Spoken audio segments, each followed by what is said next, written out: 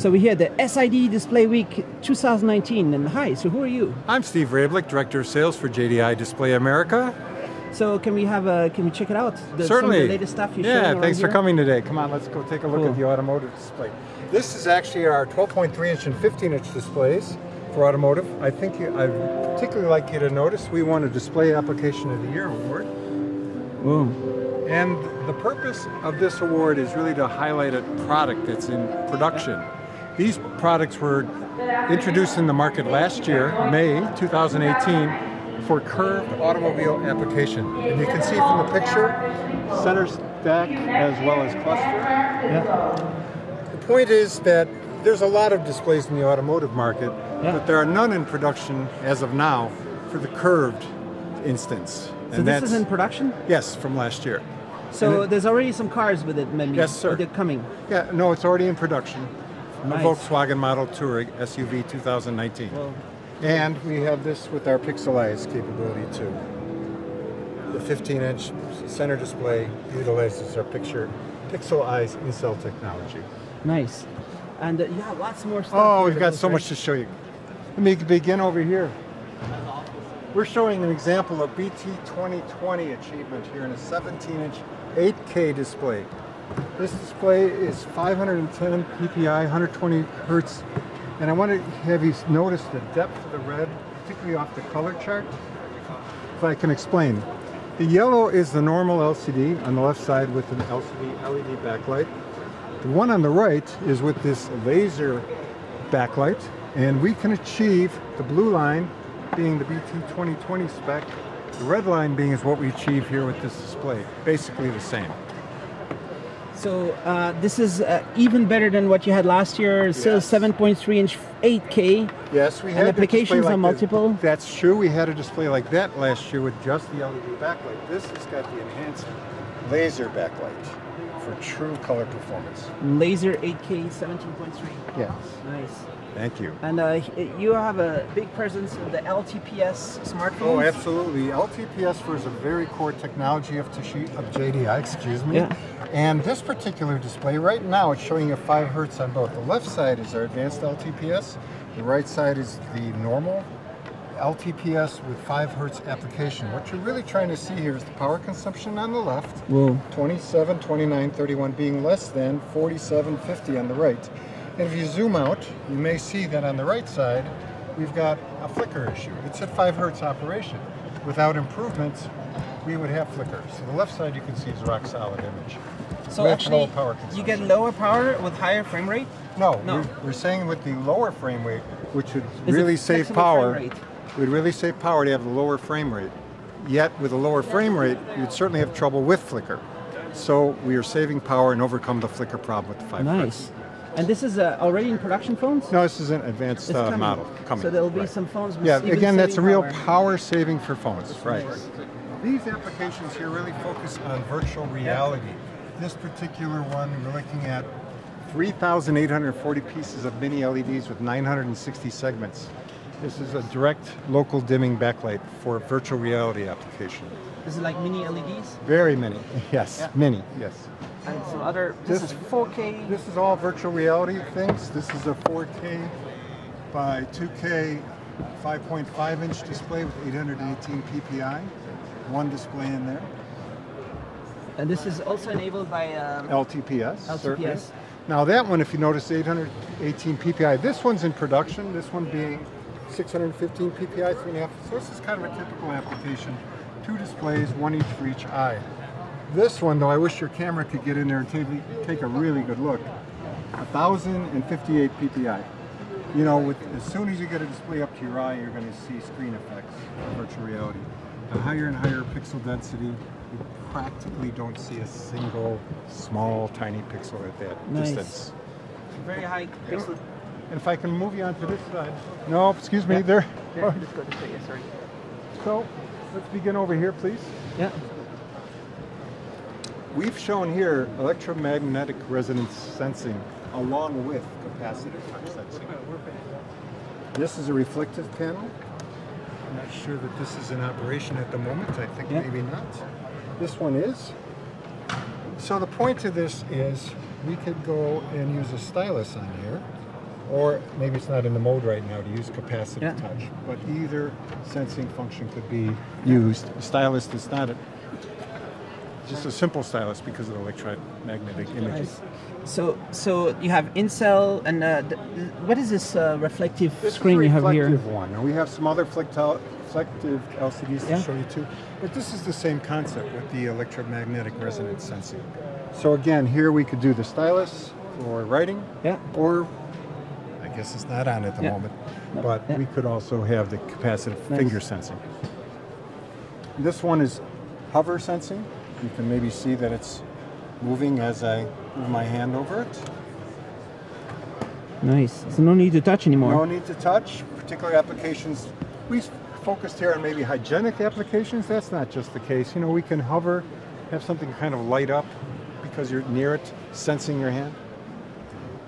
I want to go over to the right, if I may, and come back here a moment. We also have fingerprint sensing. This one, if you see my fingerprint here, please don't put this Yeah. out there. okay, sorry. No, that's fine. My point is, hey, my fingerprint's on your video. On the do you- internet, yeah. Right. Maybe that's not People a good can thing. use it at the passport control. yeah. yeah. Here again, this is another one.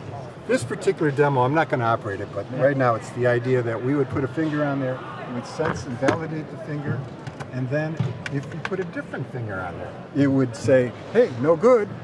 That's not the same finger. So those those fingerprints are untransparent. Uh, This is like a, this is like an LTPS capacitive type of LCD. It's glass based. So could so you in it's theory not have it on the whole LTPS? We could in theory, but there's one more application instead, which I wanted to come back to. Yeah. Instead of being, say, embedded in the display, this is a flexible one. I want you to see that. This is the same capability in a plastic flexible case. So that when you think about it, if you were to put it on a credit card, which of course is flex, flexible and bendable, Nice. or here's an example, what if you had it on your steering wheel? Again, you get in the car, fingerprint, thumbprint, off you go. It's my car. And the resolution of the sensors. It's very, very high density, of So course. it's full security. Oh, absolutely so. Yeah. Yes, sir. Nice. If we can start on the right for OLED technology here. The right side. Right s- side shows a full RGB, full resolution. Uh, I'm gonna forget the exact 1080 by 1920 OLED. We're not in production with this product yet, but one thing we'd like to highlight is with the low temperature polysilicon, you really truly can get the full pixel density, red, green, blue pixel arrangement. So you use the LTPS on OLED. Yes, OLED. backplane, yes. And that helps a lot with the OLED. It certainly does with uh, not only the ability to have the electron mobility and but also the density. It's really quite important. Nice. The next thing though, That's a big JOLED. OLED. Yeah, JOLED is a company that JDI has a very special relationship with. It's a Japan OLED. And they are in turn manufacturing printed OLED displays. This is printed, This is printed. but it looks so good. Thank you. So, this so one is the actually of uh, in the OLED production. is going to be printed. Well, its ability, you know, it's printed is different than the vapor deposition, or, you know, the chemically vapor type, like this one. Printed allows us to make very large displays with very large facility in a printed manner. But this, this looks like a fully, what would you call it? High class display. Oh, absolutely. I Thank thought you. the printed OLEDs were just in the No, early infancy very- of no, development. please take a look. This is as high as 10-bit color, 204 pixel pitch. Is this the first time you show this? Uh, yes, it, SAD. It's the first time we've shown it. And the one, this is actually in production. This particular display. In production? Yes, it is in production. It was introduced last year to the marketplace. The But one to your it left It has to be expensive then, or is, It's- isn't the idea that of printed they can, in theory, get to lower cost? Well, it's certainly not where other typical, say, 21-inch monitors are. It's definitely for more high-end application, maybe medical, maybe broadcast, radiology, things like that. But um, it's just made by printing now, Yes. which I thought was supposed to potentially make this democratized OLED potentially is going to be huge because of the printing. Well, you know, we have to still ramp up the production capability. We have a lot of lessons to learn, but here's another example of it. In 27-inch, It's also printed. Yes. This one's not in production, but this one is also 10-bit color depth, a little less pixel density. But I think if you see the blacks in here, particularly this Las Vegas image, All right. Just outside the exhibit That looks so good. And I, I thought, you know, the, the other demos I've seen of the printed OLEDs seem like more like prototypes a little bit. no, no, This as I looks like this in production. shipping. And actually, if you take this one, this one's really pretty cool too. Are we filling up a juice glass? Seems Nice. to be. Nice, cool. And uh, then uh, I'll be, uh, here's some transparent Yeah, here. transparent. Show you this. This concept here that we did is take a zoom out on this. You see in the background we have this large TV. We're trying to say with the TV that just you know, let's say you're out there out there looking at an observatory or out there in the wilderness and you have a real live picture. Maybe it's the mountains. Perhaps what you want to do is know something about those mountains. Well, that's Mount Fuji. So it's a transparent display. Yeah, and if you notice, when you've zoomed in, you don't really lose much picture quality by going through the transparent particularly when we, the interest here. Because if you're going to have a transparent display and degrade the background, it's not much use. But if you can see clearly through it, you're going to have a wonderful scene. Like So it's very transparent. Yes, uh, it's about 80%. And what is the technology going on here for doing this transparency? Well, we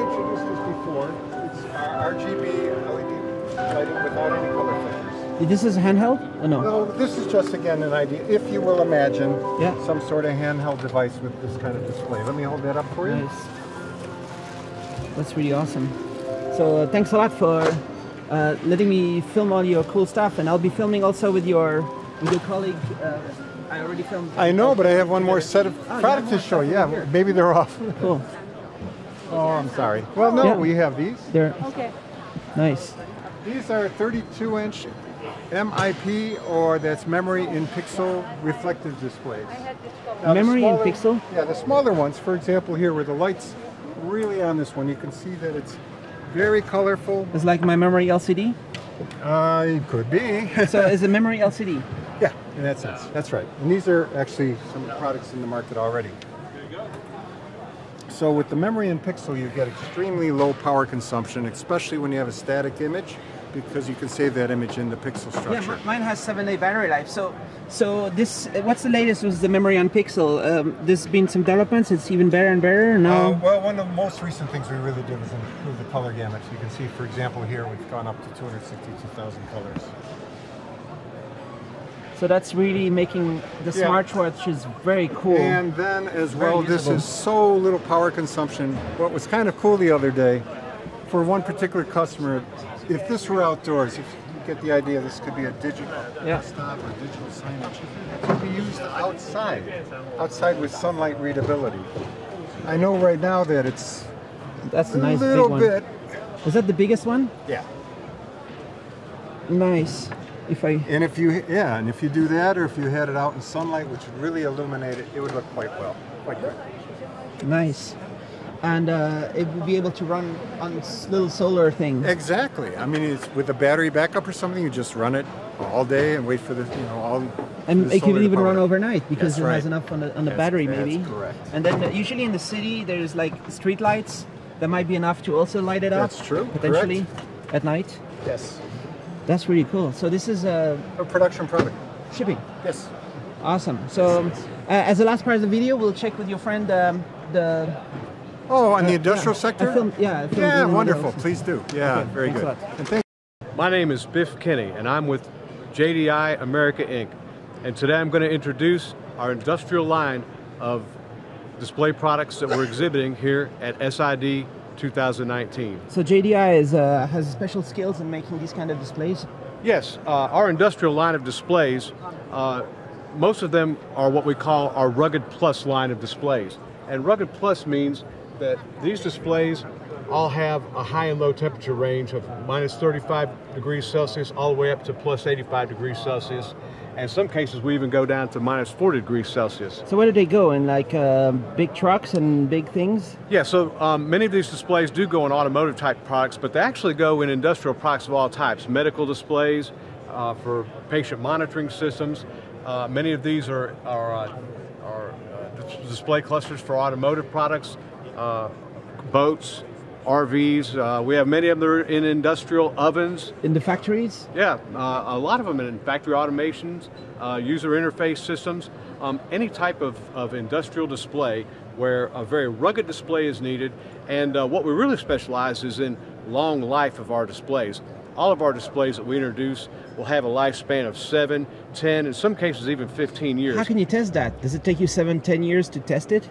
No, actually, we we bring these. Uh, we start development work, and we bring these displays to the market in under a year. Once they're on the market, and our customers uh, approve these displays and begin production with them, we then keep them alive for uh, five, seven, 10, 15 years sometimes. So once our customer designs in one of our displays, they can depend on that display being available to them for a long time to come. Because it's not easy to go and replace the display. Well, no, no. It's, I mean, it, it, it's maybe easier than other displays, but it's not that easy. Well, no, no, it's not easy at all. You're talking about uh, there's still no such thing as a drop-in replacement. So there's there's mechanical considerations, electrical me- considerations, optical considerations. So once this is, is designed in, it's a stable product and here for a long time to come. And So what are you of- showing here? yeah, this is a uh, this is a new 6.3 inch display that we've just now introduced, and uh, this display features IPS technology. So it has a, a viewing cone, and from any angle, this uh, the viewing uh, on this uh, display is equally the same.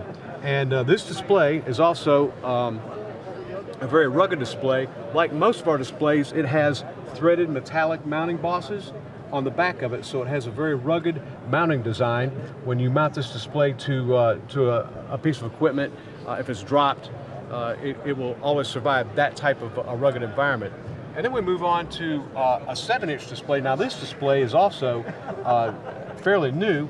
This display is 1200 nits of brightness. It also features IPS technology, so it's viewable from any angle, top, bottom, side to side. This display also uh, is in our Rugged Plus family of displays, and in Rugged Plus, we guarantee uh, the specification will have zero bright dots. And what that what that means to say is that this display will not have a bright green dot or a bright red dot, bright, bright dew black. We guarantee that this ha- will have no bright dot defects whatsoever. No dead pixel. Yep. No, no, No bright no bright, pixel. no, no bright, not just pixel, dot. So we take it all the way down to the dot with, our bright specification. And um, so this is a seven-inch uh, wide VGA, 1200 nits of brightness, 1000 to one contrast. This is a brand new LCD. This is a seven-inch wide XGA. It's 1280 by 768 in resolution. IPS technology. It looks very beautiful, kind of. Yes, like good colors. Oh, yes, sir. It's a thousand nits of brightness and a thousand to one on the contrast ratio. This also has the threaded metallic mounting bosses in the back, and so it has a very rugged uh, mounting design. And the, mechanical system on this is designed to go in any type of uh, an industrial or a, a rugged boat, automotive, truck, uh, any type of application like that. This is a larger version of that display. This is an 8-inch wide XGA. It also 1280 by 768, IPS technology, 1,000 nits of brightness, uh, 1,000 to 1 on contrast ratio. Minus 30 to plus 85. Yes, sir. Yes, sir. It's extended temperature ranges. So those are operating temperatures, and those are ambient operating temperatures. What we're saying is in our specification that those operating temperatures in the environment, and we're not talking about the temperature of the glass itself, but the environment that it's in will actually work at minus 35 to plus 85 degrees Celsius. Are you unbeatable in this kind of market? I'm sorry, one more You, time? you're the market leader for this? This kind oh stuff? yes, yes. Uh, we have a very we have a very special niche in the market that, uh, as you know, our company JDI is very strong in the automotive industry, and what we do is we use uh, glass cells, actual glass cells that we uh, that we sell into the automotive industry, and we spin those into these standard off-the-shelf industrial displays. So what you're seeing here is these are all standard display products. These uh, these are not custom. So uh, these are part numbers that we keep on the shelf, and uh, they're, they're, they just have a standard lead time associated with them, and there's nothing custom about How long these time displays. it'll be available? Do you have sorry? like a, a, a certain amount of time you leave Yeah. them on the market? Yeah, we keep these in the market minimum of five years, uh, seven, ten, up to 15 years is very, very common for us. So people can reorder the same one. That's uh, that's one of our benefits is the fact that we do keep our products alive for a long, long time. And this is a new product that we've also introduced, and this is an 8.8 inch. And this also uh, originally came from the automotive market, and this has in-cell touch. Uh, the touch panel and touch capabilities are actually built into the glass stack up. So uh, this does not have a cover or a, uh, a capacitive touch panel laminated. It's actually built in to the LCD itself. Uh, Yes, yes, and high high touch. yes, and then you can and then you can add a cover glass uh, to this, and that could be a custom cover glass of any size. And uh, Because when you have big machines, let's say, and you want to trigger stuff, it's important that it triggers correctly. Exactly right. And uh, all of the displays I'm showing you here uh, do have optional PCAP touch panels available to them, and we can optically bond those. We have standard touch panels and standard cover glass that we can sell to our customers, or if our customer wants a custom artwork cover glass, uh, a custom size cover glass, we can also provide that to our customers. So not only do we have these standard parts, but we can value add things like custom cover glasses, custom PCAPs for whatever that customer application uh, may happen to be. And this is a very new panel we also introduced. This is a 10.1 inch wide XGA. This is 1280 by 800 IPS technology, a 1,000 nits of brightness, a thousand to one on the contrast ratio. It's got the automotive grade temperature range, and it also has the high rugged mounting system that you've seen on the other LCDs with the threaded metallic What's the bosses on the connectors back and of stuff it. here? Uh, yeah, so these are these uh, connectors. Uh, these are mostly LVDS connections uh, that you see on our, our displays, and uh, some other automotive derivatives that we have include these types of instrument clusters. This is a 10.3 inch. This is uh, the aspect ratio on this is 8 by 3, and this is a 10.3 inch diagonal, and it's IPS technology. So you can mount this portrait, you can mount it landscape, like all of our displays, uh, and have the same viewing angles from any direction. A thousand nits of brightness, a thousand and one on the contrast here. Uh, the high-low temperature range. It has the rugged mounting system, and this one actually goes from minus 40 to plus 85 degrees Is a Celsius. display like this is quite expensive because it's especially especially specialized market. Um, they're actually not uh, what I would call expensive. We have these uh, priced uh, in the market range, but the nice thing about this when it comes to price is the fact that these are standard products. A customer doesn't need to pay any NRE. A customer doesn't need to pay any development costs. These are, are specialized products uh, that are automotive rugged as standard products. And they're ready to Ready- we, we keep we keep them on the shelf, and uh, we're ready to we're ready All over to the U.S. uh, All over well, the world. all over the world. Yes, sir. Uh, we're, we're, we're worldwide supplier. And then this guy is a 12.3 inch diagonal, 8 by 3 on the aspect ratio, another instrument cluster. And this guy has even additional stability with seven mounting tabs around the uh, exterior of the frame. And it also is IPS technology, so it can also be mounted in landscape or portrait. And you see there in that beautiful portrait mode, that viewing angles are beautiful. And it's also a thousand nits of brightness. It's a thousand one on contrast. And uh, the IPS technology with the high-low temperature range. Do you do any 4K industrial? Uh, yes, we actually do, and uh, that would be uh, an example of that is right here. This is a 13.3 inch 4K 2K, and uh, this is built into an industrial package. It has 350 nits of brightness. Now this one, unlike the ones I've shown you previously, which are, are rugged plus, this one has industrial grade uh, temperature range minus 20 to plus 70. And what's it got behind here? Oh, this is this is just uh, the the demo set um, driver electronics. So what we actually provide to the market is simply this uh, LCD itself with the connectors that uh, the customer would use to connect it to their particular system. And you can see that this is uh, this is an LVDS panel, and uh, What would, what would be the use cases for 4K in the industrial market? Well, uh, a lot of a lot of user interfaces, a lot of uh, a lot of medical uh, applications for patient monitoring systems. Maybe architects? Uh, you know, some some guys might might use this in an architectural People application. in the construction? And, and uh, what we actually developed it for was a rugged tablet. So you use uh, see a lot of these in rugged tablet uh, PC applications.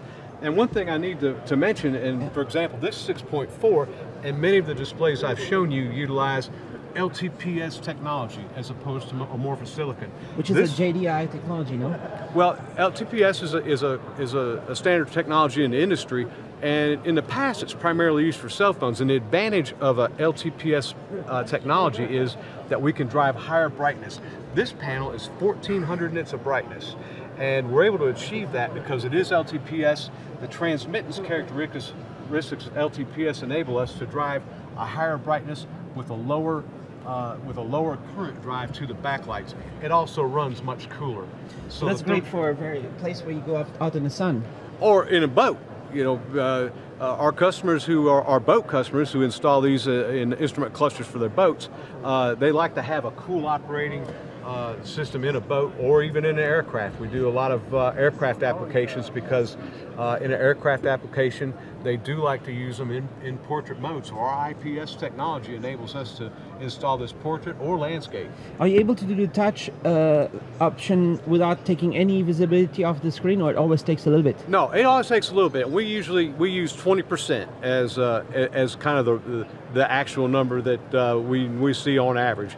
Uh, so this this uh, LCD, which is uh, 1400 nits of brightness without any touch applied, once we apply a touch, we would expect to see this go down to maybe something in between 1,000 and, and 1,200 nits of brightness. So it'd still be uh, extremely bright and usable in an outdoor application, even with a, a- a touch panel cover glass applied to it. Uh, are you able to say if this market is like a growing market?